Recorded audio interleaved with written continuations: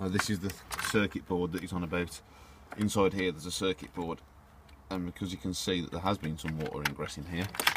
This is what you have to prise apart. And you prise this apart from these little clips here. A little bit more carefully than I have. And you find a circuit board inside.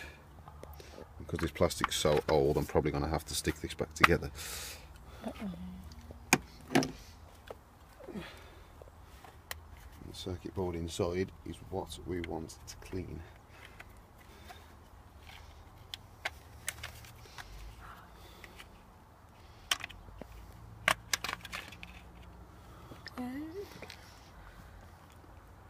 There's some evidence of corrosion down there.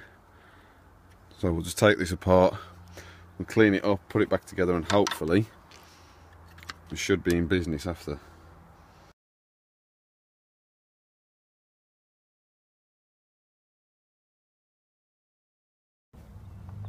WD-40 and some little pins. We'll clean out all of this crap inside here, make sure they've just got, rough them up a little bit.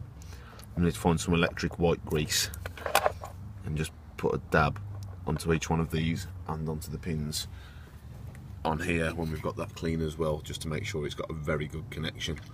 Same for anything else that looks corroded and while you're at it you might as well grease up every single connector.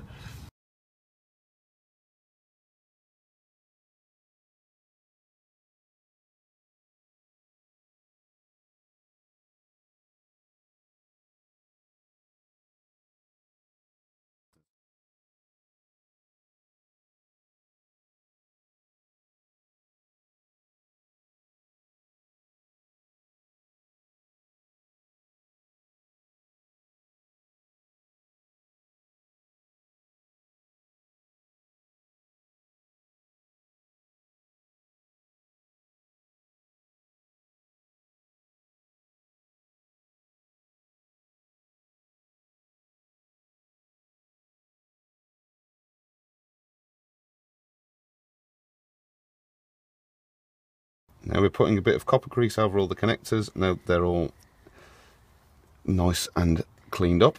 This will just protect them from getting crappy again in the future.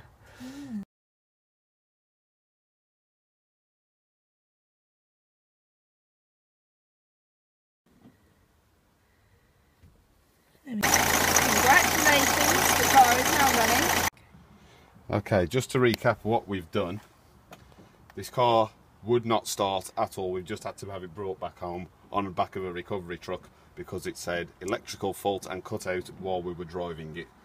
Another fault that you might notice pops up on your screen would be steering locked or steering not locked, steering check, anything like that. What we have done is repaired this car by taking out the fuse box, which is located under here, which can come out fairly easily or be a bit of a pain. I'm not going to take it off because I've just got it back on. There is a small box underneath here. Disconnect all of your wires. The box will wriggle free if you undo a little nut that's about here. Clean up all the connections. If you can see any signs of corrosion, give them a blast with some AC90 or some WD-40. Either or, both the same thing pretty much.